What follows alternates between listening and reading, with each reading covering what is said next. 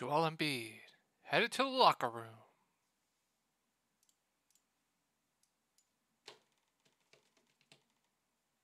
Jalen Johnson headed to the locker room.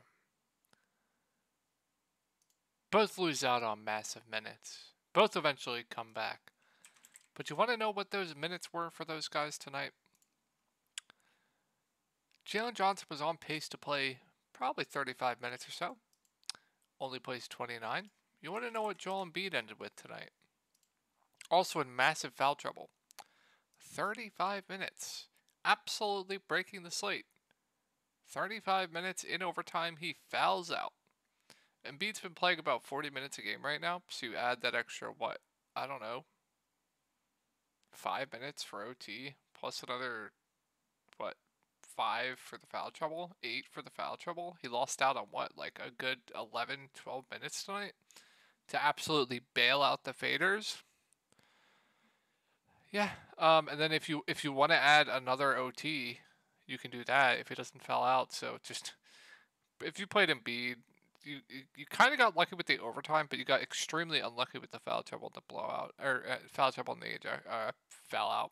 Um, but yeah, man, uh, just extremely extremely tilted. I I just can't run any worse than I've been running the past week with injuries and other shit. It's just it's been brutal, man. But I'm not going to let that get me down because there's always a slate the next day. I am confident in the plays that I made today. If you don't know who I am, my name is Shook. I make videos. I post them on this subreddit called DF Sports, 1S, so DF Sports. Good community. We talk strategy, etc. Um, I post updates with all the news that comes out throughout the day, so you know where my head's at. I respond to you guys. You guys ask me questions. You guys can talk strategy in the comments. I respond to you guys. As you can see, I answer, try to answer absolutely freaking, absolutely everyone. Um, I try my best. If I miss you, if I don't have time, like sometimes I'll run out of time. I do apologize, but if you, as you can see here, I try to respond to absolutely everybody the best I can. So if you if you need any help with any of the slates, I'm always going to be here for you. Um, so yeah, um, if you ever need to get a hold of me, you can get a hold of me on Reddit Messenger, or you can get a hold of me on Twitter Messenger at Tory Langley. Um, 1992. Um, I make it a point to you know be available for you guys, try to respond to you guys when you need help, etc. Whether that's with the lineups, if you just want someone to talk to, um, I'm always going to be here for you guys. Um, and then if Discord is something you're interested in, I will have a link to that down below where I'll have in-depth videos going over each slate, player pools for cash, GPPs, cores for cash, GPPs. All of that will be in the comments down below. So check that out if you are interested in that. Um, going over my lineup tonight, I finished five points out from the cash. Um, I think 340. Yeah, was the cash line was at 333. Just Dillon Brooks, massive foul trouble. Pascal Siakam, eh, he was fine. He salvaged. Joel Embiid, massive freaking foul trouble. Fouls out. Only plays 35 minutes in a double overtime game. Jalen Johnson gets injured, loses out on massive minutes. Low owned DeAndre Ayton, absolutely breaking the slate. Massive random blowout, only plays 27 minutes. The Sharks get punished. If you played DeAndre Ayton tonight, phenomenal play. You got punished. Shark play, punished. Just slapped in the face.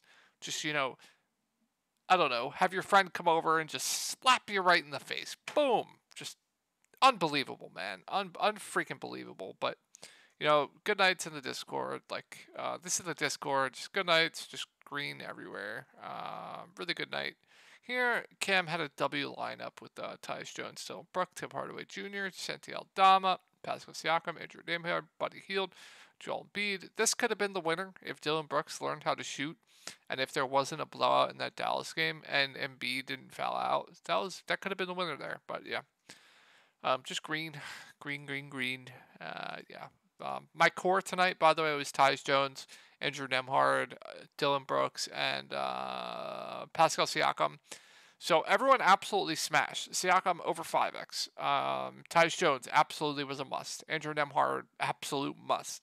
Um, Dillon Brooks was chalky enough to where if you had him, I don't really think it hurt you that much.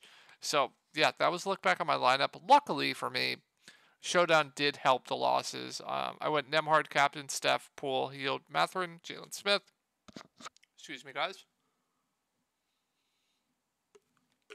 So this helped a little bit. Excuse me. Um, the actual optimal for the slate was actually Klay Thompson over Mathurin, so I could have had the nuts here if I went Klay over Mathurin. My God, is this guy been awful? Shoot, shoot Mathurin to the moon. You know, when I finally buy in, you know, he sucks, but, you know, he's dropping 40s freaking every other time. Like, I don't know what's going on, man. but let's go over this disgusting slate. If you, if, guys, go small on the slate. This is the by far the worst freaking slate I've ever seen in my entire life. You couldn't pay me to put more than $100 on the slate. If you gave me $100 out of your pocket, I would give it right back to you and tell you no. I'm not doing it. I will not take your money to play this slate. Just no fucking way. I'll torch my own money, but if someone was, you couldn't pay me to play this slate, so just kidding. I'll take your money. Give me a hundred. uh, but no, this slate is absolutely fucking disgusting. Uh, but going over it, so Detroit is an absolute mess right now. So if you guys don't know this website, it's called popcornmachine.net. Um, so Detroit is an absolute shit show right now. So um, let me show you guys. So the first game that I'm talking about here is the first game that I'm about to show you of three games. So th- they played their starters normal rotation minutes in the first half, and then in the second half they benched their starters. They only played him. They they played him th- four minutes in the second half or three minutes, and then they benched them. And then they some of them, only a few of them, came back in the fourth quarter. So that was quite interesting. The next game that I'm going to show you is that showdown slate from the other night um, in that went to overtime. They played their guys their normal rotations. Obviously, Isaiah Livers got injured.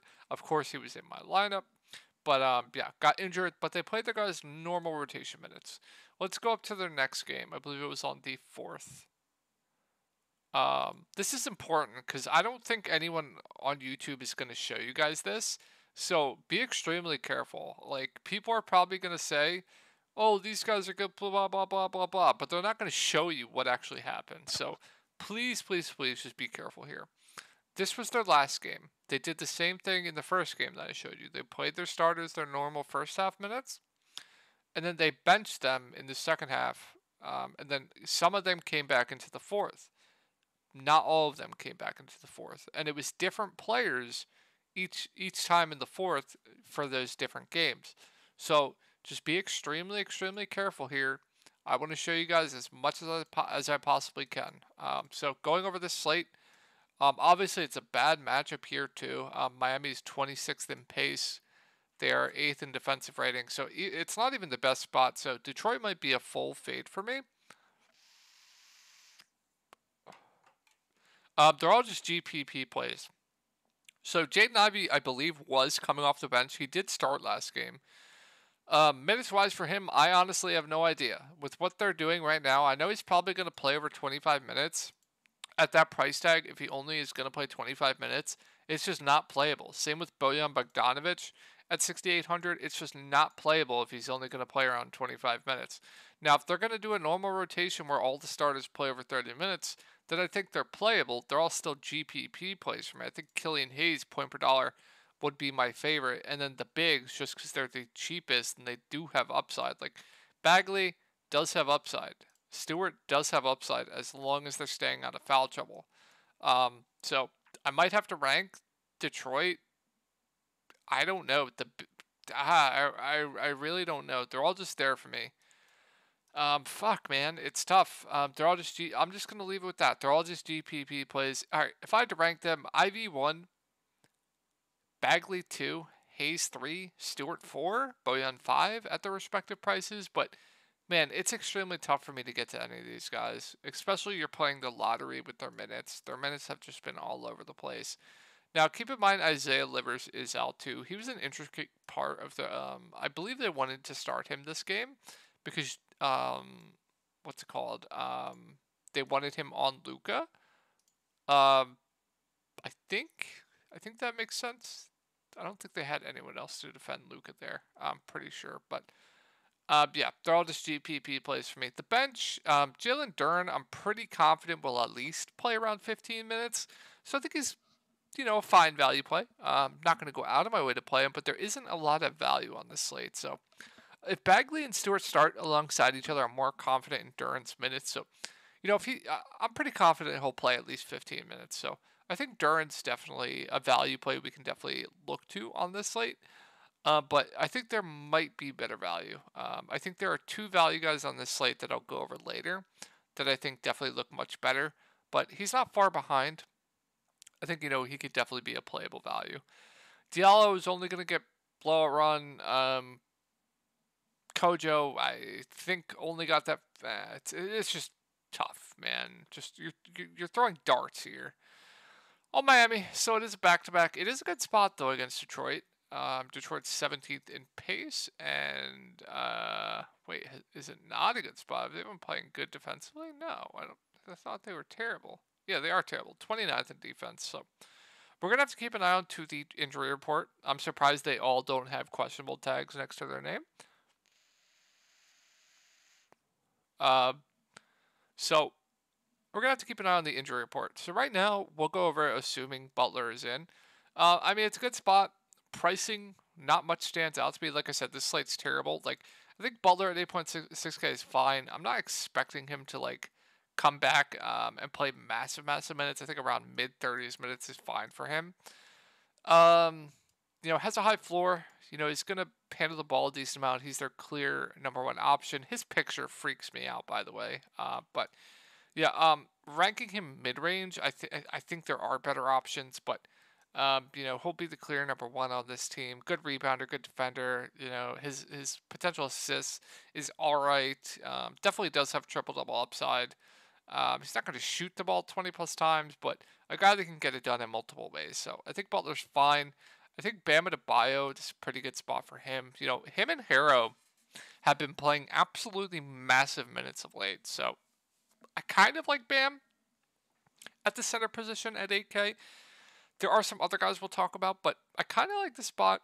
Um, I think with the minutes, him playing, you know, close to 40 minutes a game, he only needs to average about a fantasy point per minute to pay off this price tag, and he is he can easily do that. You know, he's he's usually averaging you know 1.2 to 1.3 fantasy points per minute. Uh, maybe not that high. I'd have to look, but yeah, I think Bam's a solid option. Tyler Herro has been phenomenal, and he's playing huge freaking minutes.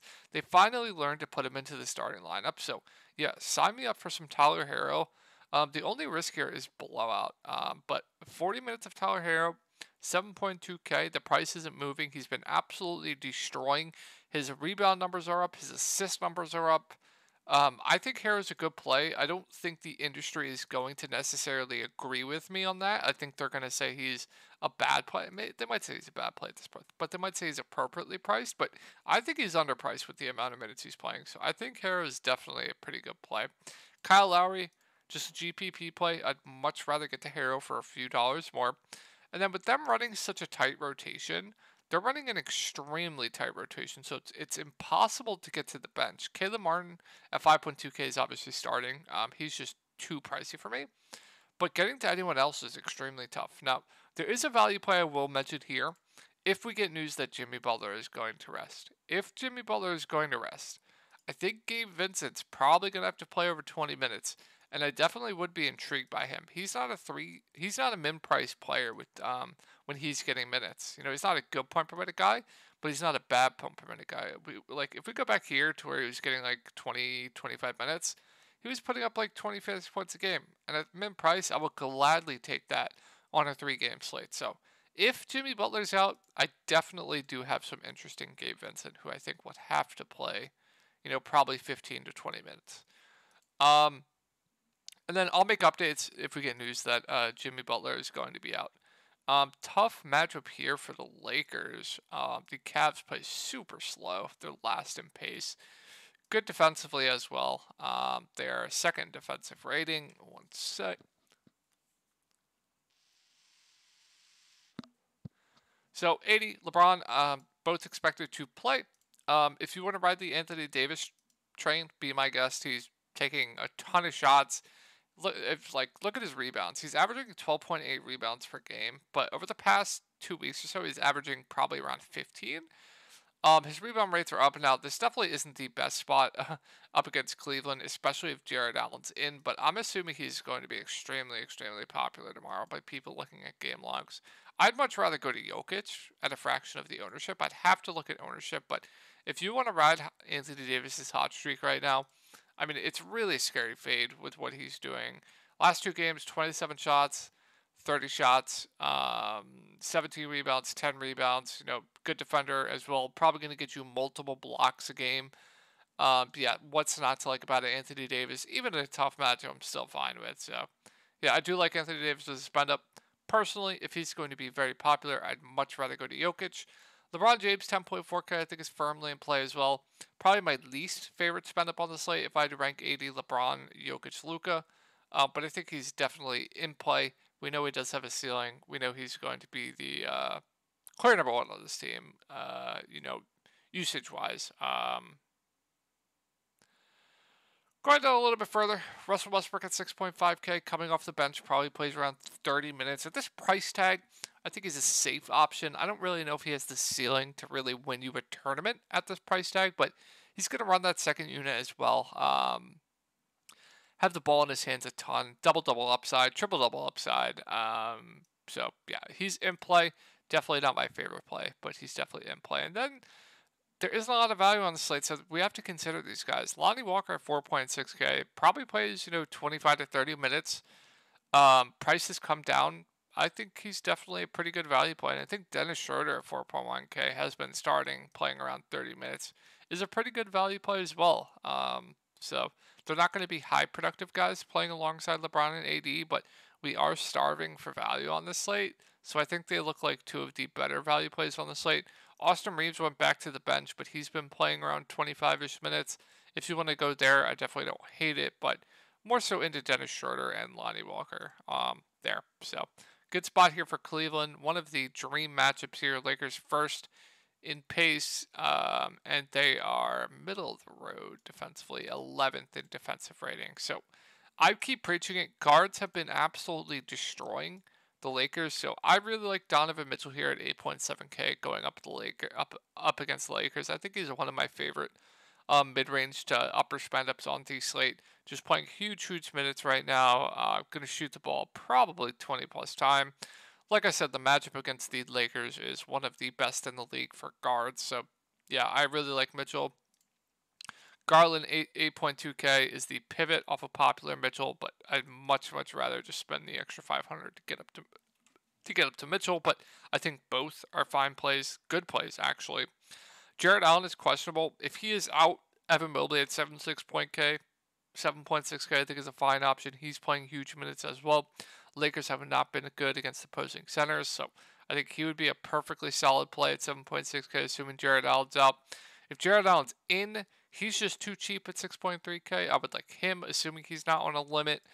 Um, so a lot to like here with Cleveland. Um, Kevin Love at 5.1K. You know, as you guys know, minutes are all over the place, but he does have a ceiling. He has slate breaking upside. Um, if we're going to get, you know, 20, 25 minutes of Kevin Love against the Lakers with LeBron coming back to Cleveland, um, yeah, I think he's perfectly fine for GPPs. Caris LeVert on a normal night probably plays around 20, 25 minutes. I don't hate him for value. I think it's perfectly fine. Um, hasn't been producing of late, but um, you know he'll be relatively productive when he's on the court. I don't hate it. Cedi Osman, I would only play if Jarrett Allen's out. He's been, you know, probably playing close to 30 minutes off the bench. Has been very, very bad, but usually he's a solid point per minute guy. I'm fine with it. Um, not going to go out of my way, but I do like Cedi for value as well. Like, they're not guys. Like there isn't value on the slate, so I have to say I like these guys for value. I I, I would try to not play them, but there just isn't value. Um, Kite has been starting, but I don't think I can go there. Um, so yeah, um, a lot to like with Cleveland. Actually, it's very very freaking disgusting. Um, I know, but I like Cleveland tomorrow a lot. Denver. Where's Denver? 22nd in pace and 26th in defensive rating. So I don't know how you're going to pay it for Luka tomorrow um, with the terrible value that we have, but if you want to, if, if you feel comfortable with the value, he obviously has the highest floor and ceiling on the uh, on the slate, in my opinion. So it's not the best spot against Denver, but if you feel comfortable with the value, go for it. I think it's going to be pretty hard to pay off this price tag, but um, like if you fade him, what what really does Luka need to kill you? So usually in basketball, five x is kind of reaching value. So if you go thirteen by five, I believe it's sixty five. I'm good at math. Um, that's not going to kill you at that price tag. If we go, if if he goes 6x, 78, that's getting to the point where it's like, okay, I think you don't need him to bink. I don't, or I think you don't need him to min cash, and you don't need him to do really well. So, what does he really need to really kill you? I think it's like 84 at that price tag to really, really freaking kill you. Maybe like 78, 79, 80. Um, so at this price tag, I think it's really hard for him to kill you. But as we saw tonight, he can go for 80 any night. He didn't play the fourth quarter and he had 60 freaking fantasy points. So in play, always. I'm not getting to Wood. I don't care what anyone says. Dinwiddie at 6.4K. Nah, price about right to me.